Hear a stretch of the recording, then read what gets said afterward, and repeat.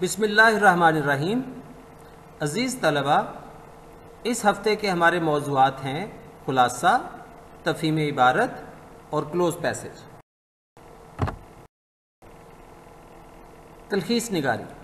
تلخیص نگاری ایک ایسی مہارت یا فن کا نام ہے جس کے ذریعے چند جملوں یا ایک عبارت کی شکل میں پھیلی باتوں میں سے اضافی اور غیر ضروری باتیں، جملے یا الفاظ ختم کر کے سلیقے سے الفاظ کی مطلوبہ حد میں اس طرح سے سمیٹا جاتا ہے کہ عبارت میں موجود اہم باتیں مزید نمایاں ہو کر سامنے آ جاتی ہیں۔ عزیز طلبہ، یاد رکھیے گا کہ آپ کو سوال میں ہی بتا دیا جاتا ہے کہ آپ نے اس پیراگراف کو سو الفاظ پہ مشتمل ایک نیا پیراگراف میں لکھنا ہے۔ لہٰذا کوشش کیجیے گا کہ آپ سو الفاظ سے ایک سو پچیس الفاظ تک ہی رہیں، اس سے زیادہ نہ بڑھائیں۔ دوسری اہم چیز آپ کو اس حوالے سے یہ ذہن میں رکھنی ہے کہ پیراگراف کے نیچے آپ کو پانچ اہم نکات یا باتیں دی ہوتی ہیں۔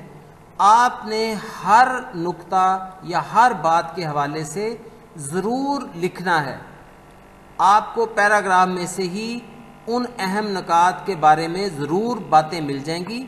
تو اگر آپ ہر نقطے پہ بیس سے پچیس الفاظ پہ مشتمل تحریر کریں گے، تو آپ کی تلخیص ایک سو پچیس الفاظ تک پوری ہو جائے گی۔ تفہیم عبارت میں آپ نے ایک پیراگراف کو پڑھنا ہوتا ہے اور اس کے نیچے جو سوالات دیے ہوتے ہیں، ان کے جوابات تحریر کرنے ہوتے ہیں۔ عزیز طلبہ ہر سوال کو اچھی طرح سے سمجھیں اور پھر اس کا جواب تحریر کرنے کی کوشش کریں۔ بعض اوقات ایک ہی سوال میں دو سوالات پوشیدہ ہوتے ہیں۔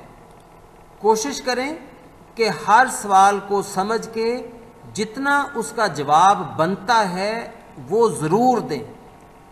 انشاءاللہ اگر آپ سوال کی ضرورت کے مطابق اس کا جواب تحریر کریں گے تو آپ کو پندرہ میں سے پندرہ نمبر بھی مل سکتے ہیں۔ اس لیے پیراگراف کو غور سے پڑھیں، سوال کو سمجھیں اور پھر اس کا جواب تحریر کرنے کی کوشش کریں۔ کلوز پیسج پیپر ٹو کا سوال ہے۔